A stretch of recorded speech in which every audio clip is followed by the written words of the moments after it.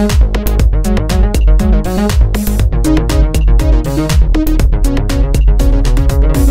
billion dollars in 30 years in making.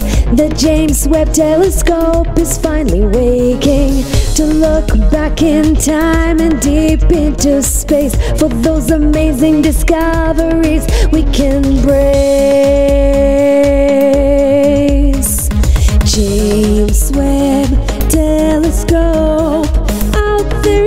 Giving humanity hope. Taking photos and sending them back, discovering new areas that before were just black. Uses infrared light to see through the dust. A powerful telescope that we all can trust. It has 18 mirrors that fit so tight. They work together as one to help focus the light. James Webb Telescope out there in space, giving humanity hope.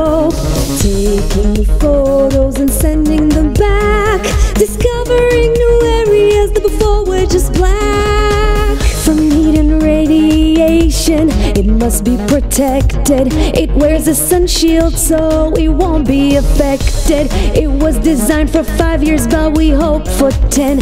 Please, when you can, send more photos again. James Webb Telescope out there in space, giving humanity hope. Taking photos and sending them back, just black.